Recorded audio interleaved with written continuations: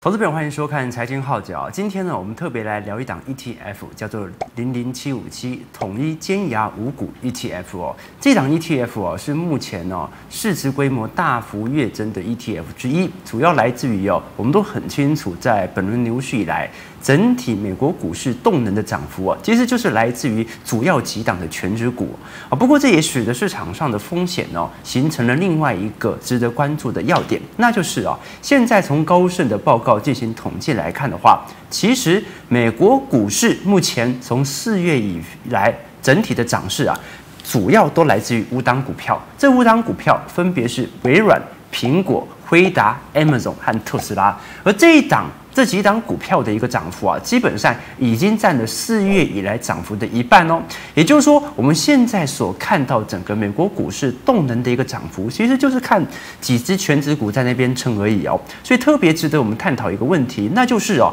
这些啊市场上买盘力度极强的这些个股，它本身推升的动能足够强烈吗？而这档零零七五七统一尖牙五股是否能够代表？这几档全值股重要的推升力道，以及它所追踪指数背后的内涵呢？我觉得值得来跟各位做一些分析以及探讨。我们先看一下基本资料好了。从基本资料，各位可以很清楚哦。基本上，我都对现货型的 ETF 普遍是有明显的看多心态。我也认为，只要是现货型的 ETF，都能够充分的达到啊分散个股风险的效用。而且，只要从中长期来看，股票永远都是涨的。何况它是 ETF，会自动帮你泰弱还强。可惜的一点是哦，这档 ETF 啊，第一个最大的缺点就是内扣费用稍微比较高一点点哦。好，这档 ETF 的内扣费用是一点三个 percent。好，虽然我们从纳指的涨幅来看哦，普遍纳指一百的涨幅每年年化大概都会有十趴左右的报酬，一点三感觉。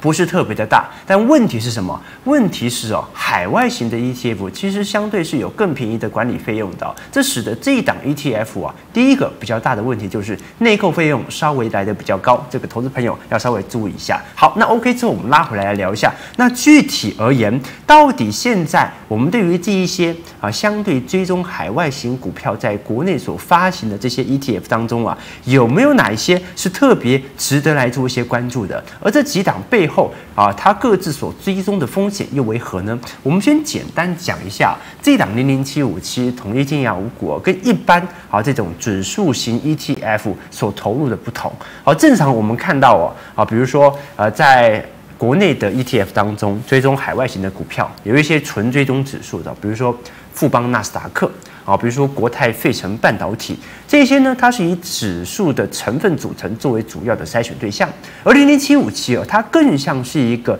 精华再精华，它并不是呃追踪特别的。大盘型的指数，而是追踪特定指数，它是以尖牙五股作为主要的追踪对象，而它所追踪的尖牙五股当中呢，其实主要是什么？主要还是跟科技有相关的，而它的成分股也不是只有五档，而是有十档，而这十档当中哦，虽然现在是十档啊，看起来好像比五档多，但也是在众多的 ETF 当中，应该算是档数最少的一档 ETF。我们仔细来看一下成分股，来跟各位做一些说明哦。各位从图表上可以看得很清楚哦，这一档。ETF 所进行的持股权重最大是苹果，再来是九点一趴的亚马逊，然后有六点五趴的阿里巴巴，七点九趴的百度，七点八趴的脸书，九点四趴的 Google，九点五趴的 Netflix 哦，十三趴的 NVIDIA 和辉达，还有十二点四趴的特斯拉，以及六点二趴的 Twitter。也就是说，我们从成分股来看的话，这档 ETF 是以软体股为主。硬体股为辅，那主要呢就是跟一些科技相关的前端企业。那当中除了美国之外，最大的国家的成分就是中国大陆。好，所以我们就可以理解到哦，这档 ETF 它整体所筛选的一个成分组成，第一个它的企业。肯定是你所听过，而且在相对各自的产业都是垄断型的巨头。那第二点呢，它本身所拥有的国别是属于中美两大体系皆有哦，所以你看到中国股价的走皮，很容易会影响到这档股票的一个走势哦。那第三点，这一档股票当中，唯一明显跟晶片股有实质相关的，并不是台积电，而是辉达。那最后，它本身有一些电动车相关的特斯拉，这个是值得我们来跟各位做一些关注的哦。好，那在了解整个行情背后以及成分股及指数所筛选的一个规则之后，我们就可以拉回来看，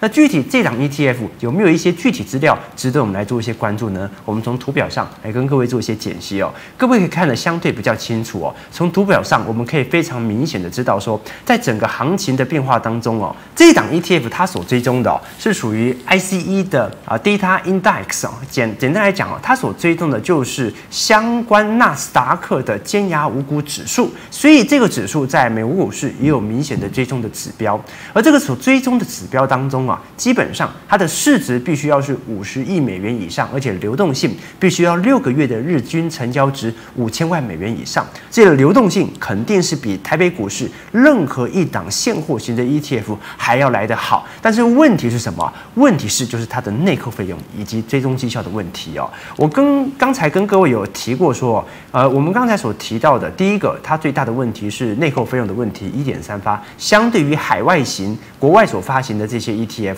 扣的比较多。那第二点是关于绩效回推的问题，怎么说呢？我们从绩效回推来跟各位做一些借鉴哦。这档零零七五七过去的绩效，各位可以看得很清楚，是我们所看到的橘色线，而另外我们所看到的蓝色线是这档 ETF 本身所追踪原指数的绩效。在二零二零年三月份以前，我们看到其实绩效整体的误差值啊，大概都在。五个百分点以内哦，可是如果我们从目前从它挂牌以来整体绩效的回推，会发现哦，从去年十月份以后啊，似乎整体的绩效的落差值是越来越大的。那其中一点是内扣费用，因为内扣费用它会反映在净值上，所以势必会影响到股价的下滑。那另外一点呢，零零七五七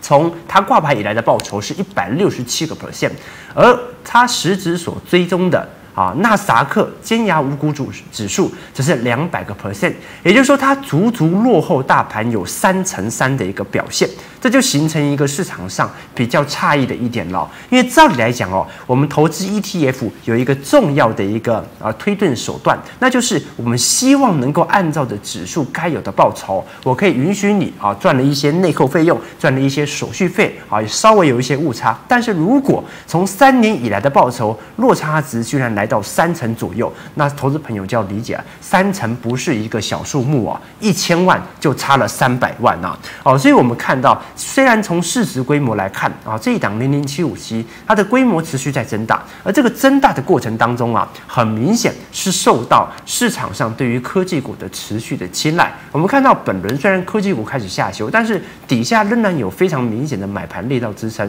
因为在本轮牛市当中啊，逢跌必买。似乎已经形成了投资者，尤其是散户投资者啊，最好的一个手段。所以，我们看到 ETF 规模在持续膨胀的同时，也要看到它背后。本身内扣费用以及报酬率追踪所带来的风险哦，我们对于科技股的一个想象，从中长期来看，在本轮生产力循环应该都会持续的跑赢标普五百指数以及道琼啊，这个不遑多让啊，这个不用特别去解析了。为什么？因为在生产力循环当中，能够驱使成长股的必定是科技股，但是在科技股成长的同时，你想要参与这一波的行情。第一点是忍受它的波动度肯定会巨大。第二点是你在挑选相关性的 ETF，一定要了解内扣费用。成分股跟追踪原指数当中报酬绩效的一个差别，好，所以我反倒投资朋友会建议说，诶，不如去参考一下相关以美元计价的海外发行的这些 ETF。那你说啊，海外发行 ETF 麻烦，我不愿意。当然啊，如果是一点三趴，跟它的年化报酬率比起来看，的确稍微比较小，但是也要注重一下它的报酬率跟原指数当中的差距是不是应该来到这种大，或者说，哎，如果你有买，那就可以光明正大的。打电话给你的营业员来问一下这是怎么回事，提供给观众朋友。如果投资朋友喜欢我们的节目，记得订阅我们军妈女频道，按赞加分享，或者有任何的问题想法，也欢迎可以在我们底下留言区来进行留言和进行交流哦。我们就期待下一次财经号角持续跟各位再相见了，拜拜。